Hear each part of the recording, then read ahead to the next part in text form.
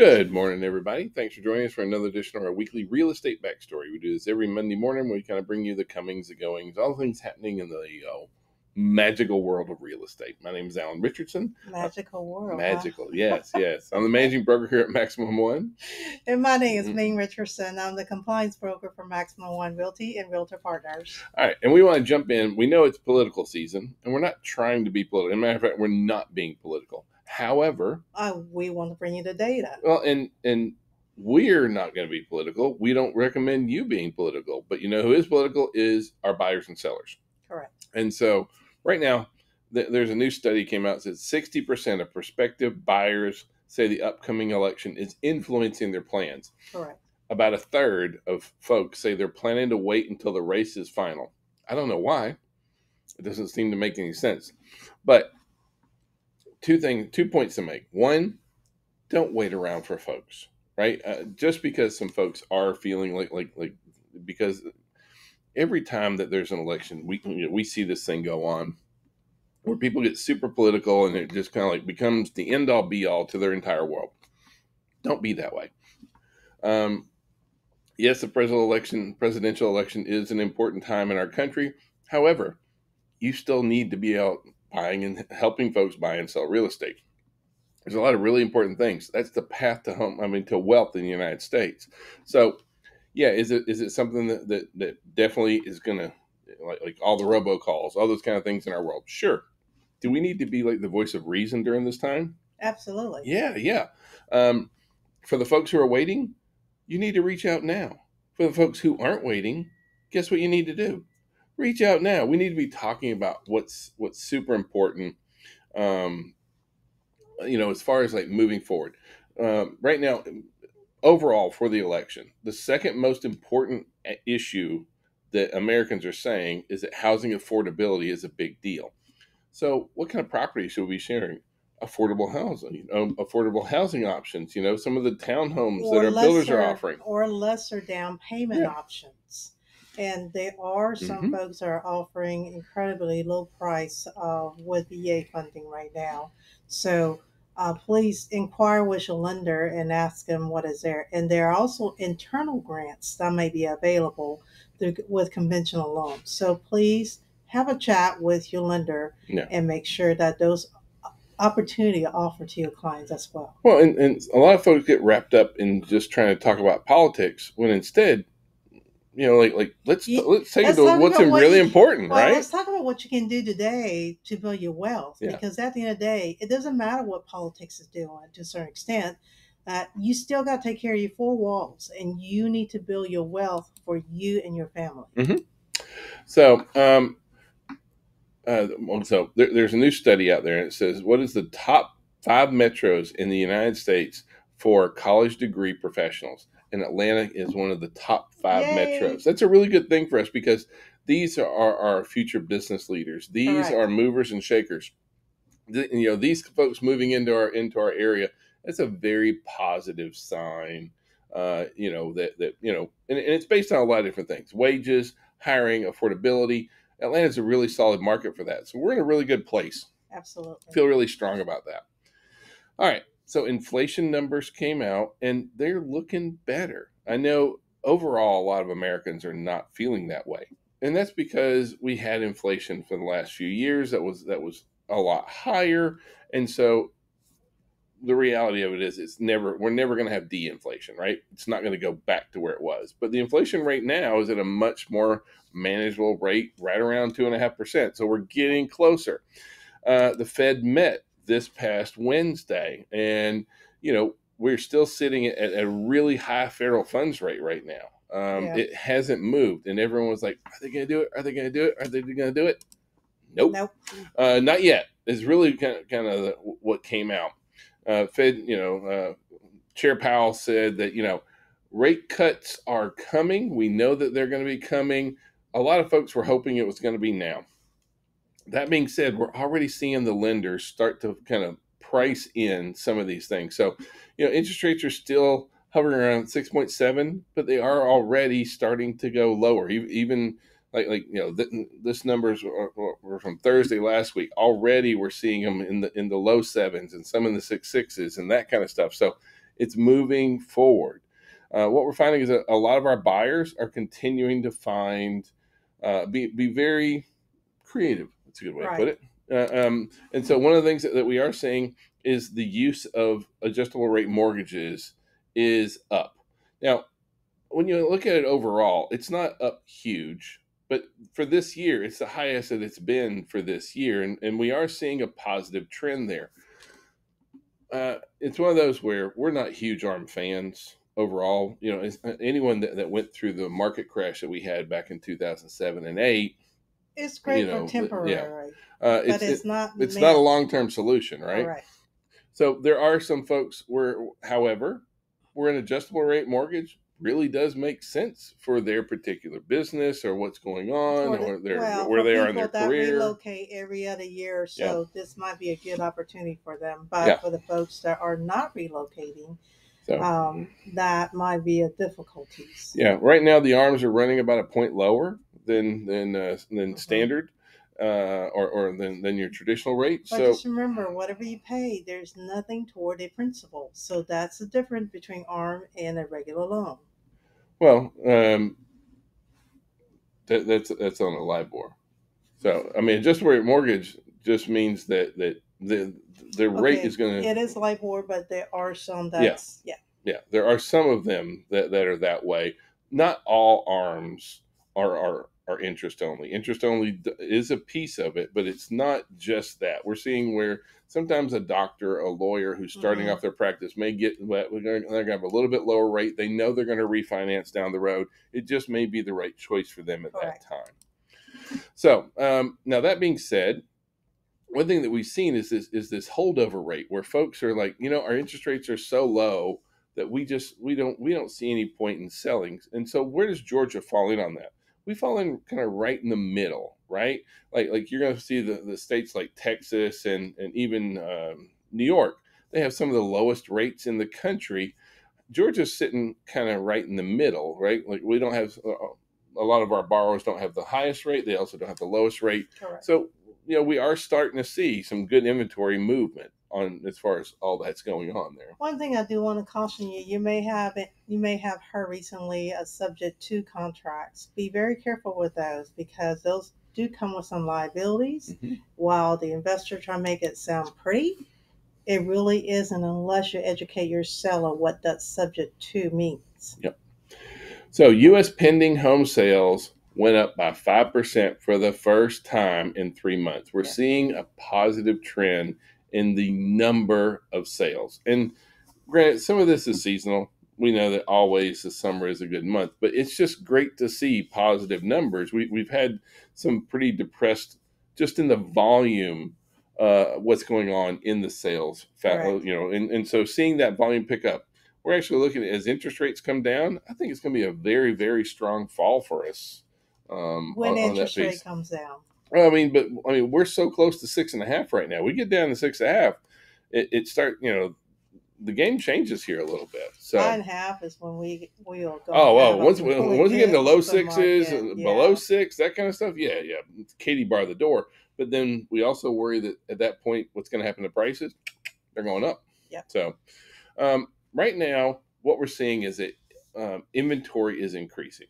And when you get a higher inventory growth, it is making for a more affordable market.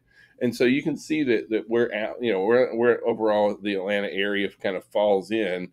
What we're we're into that the, where the areas that have the highest level of inventory are seeing much more modest or or, or even um, lowering values.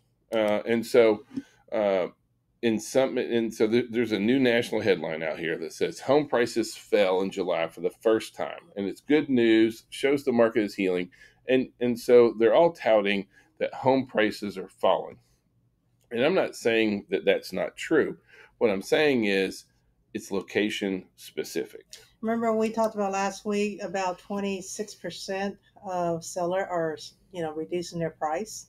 So that is part of the equation on that. Yeah but wh- wh- where we're going with is like like if you look at this map, you're going to see that yeah, there's there's lots of Washington, Idaho, Texas, Florida, uh, have areas in the red, in the pink, and those are areas that are in a decline or, or where property values have been dropping and Correct. declining. What, what do you notice about Georgia, Ming? Already, We're, we're, we're, we're, we're decline at primarily in the blue, right? Yeah. Or, or or it's a growth rate less than less than three percent. Um, so it's yeah, I'm not saying that those national numbers are wrong because they're not, right? We're seeing that on overall nationwide for the It's first time, average, it, you yeah. know, but that doesn't mean that that's necessarily what's happening in Georgia. Now we are seeing prices moderate.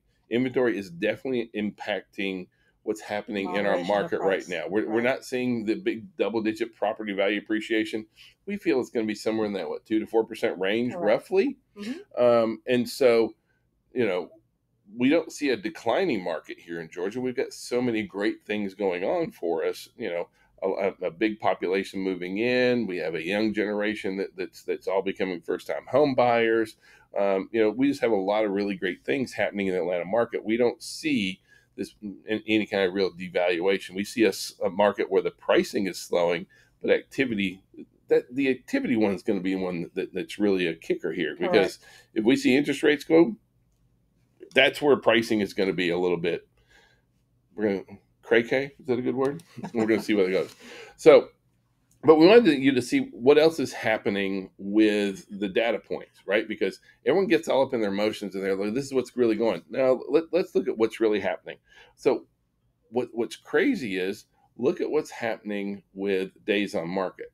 Even though we've seen rising inventory, we're not seeing in days on market shoot through the roof. Well, and that's because some of the listing agents are consulting their seller, Yeah. uh, the seller agent, uh, about what the market's doing. And smart seller that wants Mhm. to move and is motivated to move, uh, meaning they're not giving away the farm, but at, but as they're also pricing the property where it should be Yeah. um, a good value. Well, and, and part of this, let's just be honest, is seasonal.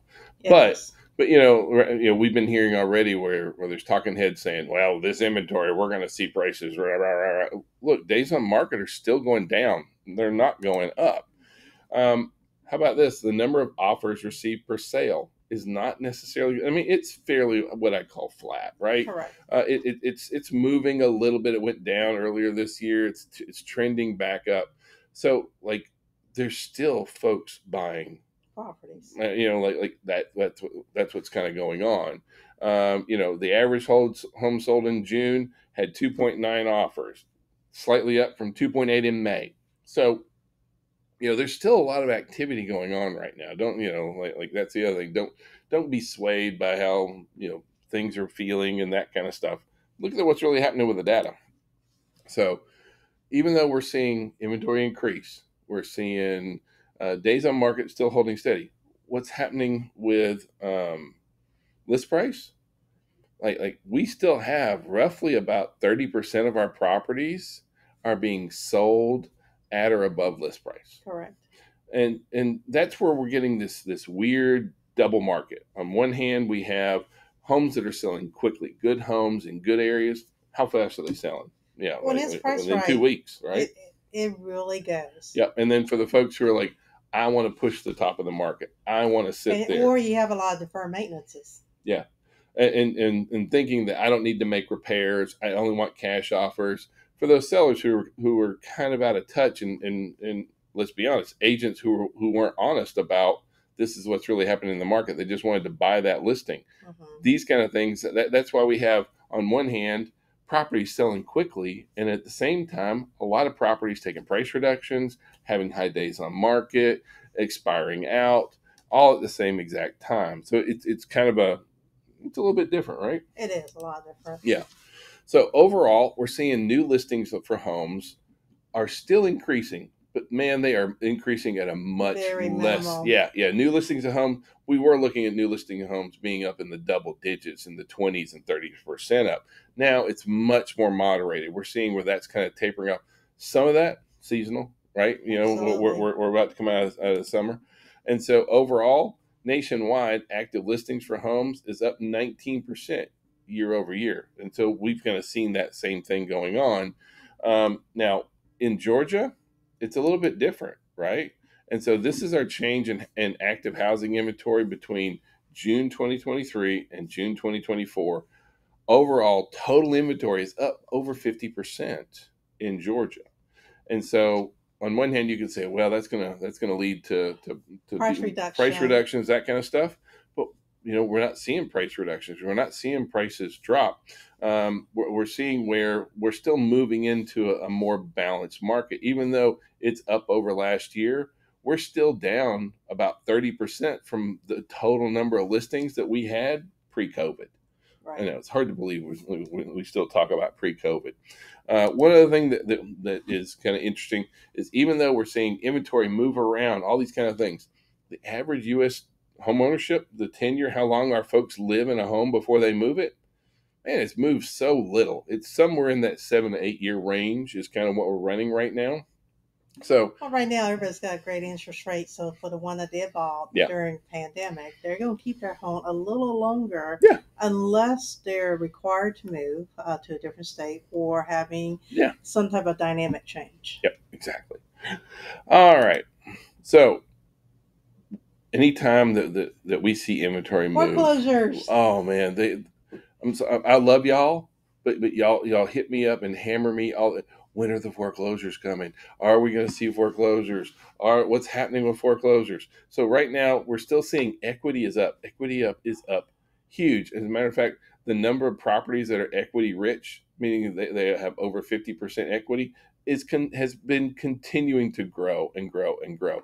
At the same time, underwater homeowners, the seriously delinquent people, that went from 2.7 to 2.4 percent so we're not you know, like like no one wants to be homeless right so, now. So what we're seeing right now too is some of your industrial uh, seller or investors they are they are actually started slowly liquidating some of their um, properties. Yeah, so cashing out. Yeah, they're cashing out. They're they're basically having sent a bank invested other um, avenues, and mm-hmm. when the market's right again, they will go after the market like they did. Yeah. But we're not seeing underwater homeowners, right? I mean, and, and you know, we are. There's always going to be some folks that, that that unfortunately have financial issues. They have deaths, jobs in the family, or mm-hmm. job losses, those kind of things, uh, divorces and, and that that will cause people to, to need change. to sell. Yeah. Um, but what we're not seeing is this big foreclosure wave. There's no reason for it because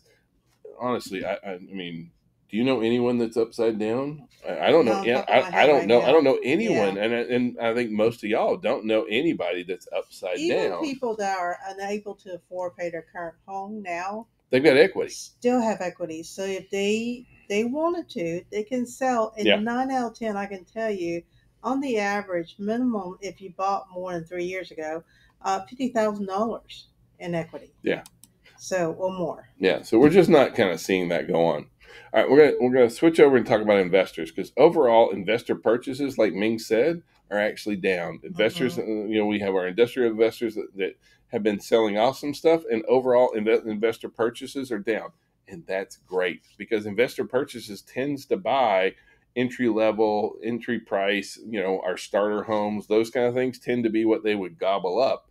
I'm glad that they're not nearly as active well, in that, the market. That's also an indication that the market's not right for investment. Well, and, it is right for a first time home buyer who actually can afford a entry uh, price point homes. Well, a lot of those guys are, are dealing with, with the stock market, what's mm-hmm. happening on there, and the commercial sides, and so there's there's so many different avenues. But residential real estate, not so much. So um, Zonda went out and they ranked the top 50 largest housing markets for single family new construction, and Atlanta comes in at number six in the nation. This is a really important thing that, that we want to make sure that everyone realizes that new construction, you know, this is our hidden inventory like like we hear all the time like like oh i'm looking for all those off market deals. Go to new construction right? So many of these new construction properties are not on the market. You have if you're going to work new construction you got to go old school. You got to go out and you got to meet the on-site agents. You got to go Have meet the folks. yeah. Build a relationship. Yeah. But also understand every new construction have their um, well they have their own set of contracts you know? so therefore understand those contracts, what are the pitfalls, if any, and also what are some of the protection period for your client. Yeah. Well, and like, are you going to use the on-site the the the lender's lender? I mean, the builder's, The builder's lender. Yeah, lender. if I could say it right, the the builder's lender. Are you going to use the builder's lender? Typically, there's incentive in, in, in that just because the builder's lender are incentivizing the builder with something that make up the difference. So, but if you don't, your earnest money may may not be safe. You may not get upgrades. You may not get closing costs. So, in the vast majority of times, yeah, you're going to use the builder's lender. Are you going to use the builder's closing attorney? Yeah, yeah, because if you don't like it, they're not going to Mhm. sell the house to you. Are you, are you going to take the builder's 210 warranty? Yeah, because if not, they're going to sell the house to you. There's a lot of things like that in new construction. Are they going to let you show up for the final walkthrough inspection? Uh, some Mo- of them Some do, no. some no. So And they you got to do it the day before. not- yeah, so they will allow your buyer to do a pre uh, walkthrough, and the only time you can do is the day of closing. So by then, guess what?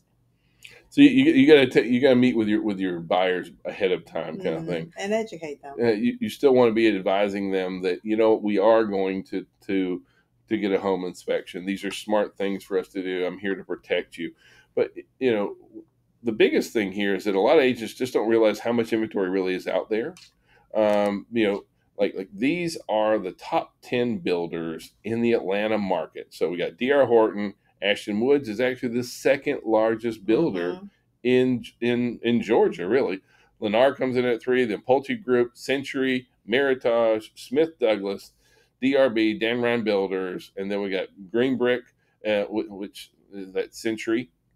Oh, they. I'm sorry. They, they- you know, some of them. Um, these are their publicly traded names and that kind of stuff. And then Toll Brothers. Most of their stuff is is is up on on the north side, but these are the biggest builders. And if you're looking for inventory, you're going to have to go to the builder site. You're going to have to go look up what neighborhoods they have listed, and you want to go out and meet the on-site agents. The only place where you're going to find a deal in new construction is standing inventory. Absolutely. You know- Usually, those are have more incentive, more closing costs, uh, and better interest rate. Yeah, and when you go there, you're going to find out things like like she just mentioned. You know, Ming was talking about interest rate, but like we have our agents come in all the time. Hey, I was just in this neighborhood, and they're offering 4.99. four point nine nine. They're offering five and a quarter. They're from four point seven five, uh, even you know fives and and all that kind of stuff. But how do you find that out? Have a conversation. You got to go meet these folks, That's and so right. these are the folks that you need to go be talking to. do your here. due diligence. So when your client does come and inquire with you about new construction, you can say, "Oh, this, this, this, this, this, this," and so you allow the buyer to make their own decision on what is affordable and what is palatable for their family. Yep. So don't forget that we got the Metro South Association Realtors trade show coming up on September 5th. We also have in all of our offices, Tom Tom Ferry. Ferry. So and so please go to Tom Ferry. You, all you gotta do is max1.rock slash Tom Ferry. It is August 27th, 28th, 29th. Please sign up for all three days. Okay, and that's what I was going to say. A lot of agents sign up for Mhm. first day thinking they're automatically sign up for the second and third day. That is not true. So please sign up for all three events so we can get an accurate hit count for That way, food that that way, that way you don't go hungry. You know, Like if you don't sign up and show up, then then we we're all just gonna uh, like like we'll share. we don't have that. out. I mean, we just can't do loaves and fishes that way. So give us a little bit, little bit of heads up here. Work Yeah. with us. So it's a great event. We we really hope that, that you take advantage of this because, like like you get breakfast, lunch, you get six hours of CE taken care of. We we really do try and make it just a great event across the board. So please, we, we, we hope you us. join us. Now, next week we also have we're st- we're still doing our 25 hour post license class. Uh, Monday we're going to be doing working with buyers. Our ultimate buyer system is going to be on Monday. It's going to be here. Wednesday we're doing ultimate listing, and we're going to be talking about sellers and those kind of things. That's also going to be in the McDonough office. Thursday, guard contract mid year changes. And that's going to be over in our Newnan office. Please sign up for that. It's our smallest office. You got to make sure you get signed up because these are really popular classes right now. And I can tell you, we we teach you what the form means and what is the best practice. And then Ming turns around and teaches again on Friday here. Take me to closing, Nice. show me the money. Yeah, uh, well, that's good for you. so, uh, we'll be seeing you next week, uh, this week. Yep. So we hope that you guys have a great week. If we can be of any kind of service, please call, text, smoke signals. We don't care. We we, we do it all. So bye, Thank y'all. You and Love you. Monday. Thanks. Bye.